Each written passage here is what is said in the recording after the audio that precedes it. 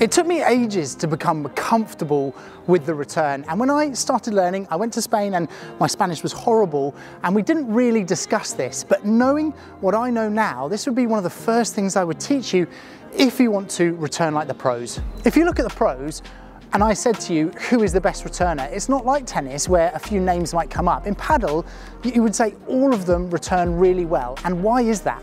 And so my next question is, who do you know with winning returns?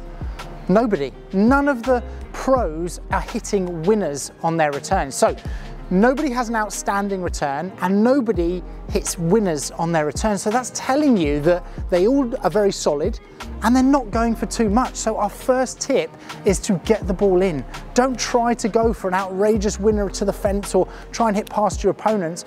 They are giving yourselves low margin for error and get that ball in the court. So when you're returning and you don't want to make a mistake, you need to aim for big target areas. So you've got different zones on the court that you can hit that you know there's a good percentage that you will get that ball back in depending on your level. At higher levels, you can probably have smaller targets. At lower levels, you probably need to have big, easier targets to hit. The height over the net is a really important factor. At the pro level, you see the guys hitting an inch or two over the net because they're going for a Chiquita and they're against amazing opponents, so they need to hit with that margin for error.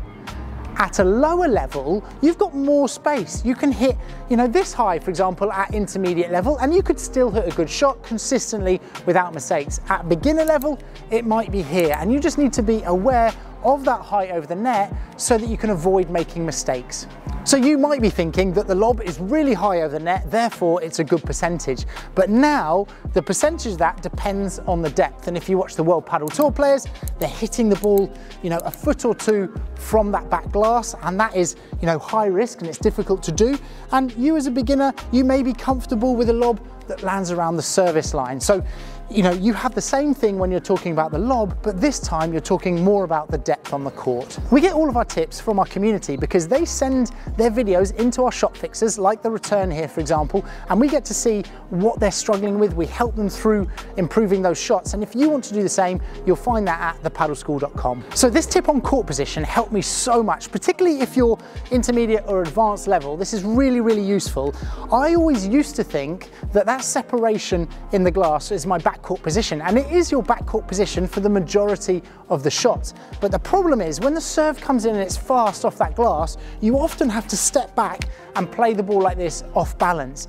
But actually, if you start one step further back, then you've got more time, it's easier to step forward, and very rarely are you caught on that back foot with the return. Next time you watch the World Padel Tour, watch where the players stand for that return, and you'll notice that they stand one step further back. And actually, you'll see quite a few players that will also step one more step more central, giving themselves even more space with that glass. So many recreational players are afraid of the glass, so they stand close to avoid it, but actually it's better if you give it a little bit more space and therefore you have more time and space to swing after the rebound. Now I know many players will say, but my opponent hits loads of slice on the ball and the ball dies. If you know that that's gonna happen, then you'll just take a smaller step closer to the glass and you'll open your racket face and prepare your racket early and that will stand you in the best chance of returning that serve. Now, let us know down in the comments what you really struggle with with the return, or if you've got a tip for anyone else to help them improve their return or what works for you.